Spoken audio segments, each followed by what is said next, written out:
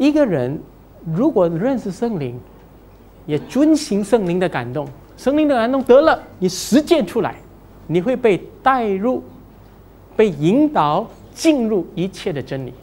各位记得吗？我们主耶稣讲这句话，他约翰福音十四章到十六章，当他讲到圣灵的时候，是十六章十二节跟十三节啊。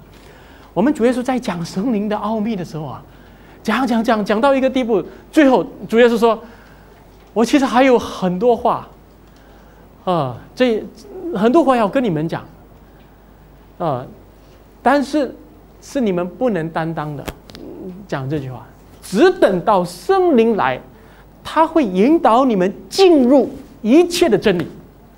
会什么意思啊？呃。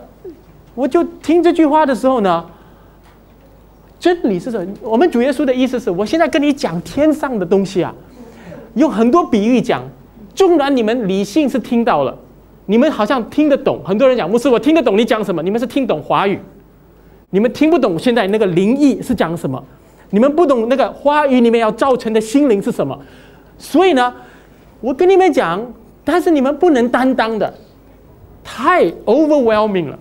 超出人的理解的，超因为跟灵魂的东西有关，所以只等到圣灵来，他要带领你们进入一切的真理，进入各位真理不是懂的，真理要进入的，什么意思啊？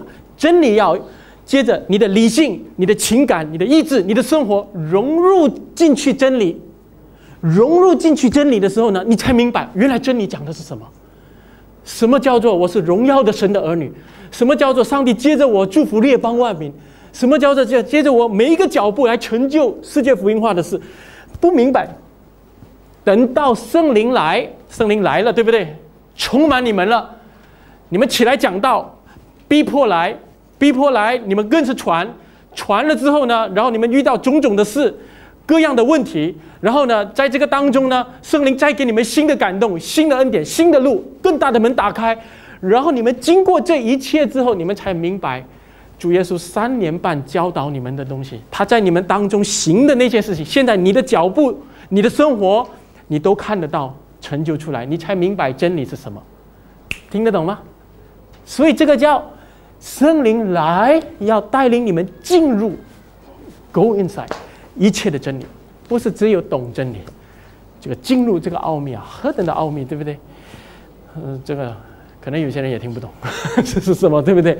但是就是这个，你们进入，上帝是要我们进入真理的。啊，所以你实践那个感动的时候呢，你一步一步走下去，你才懂哦，主耶稣讲的。什么意思啊？全部讲的，他所行所教训的，怎么成就出来？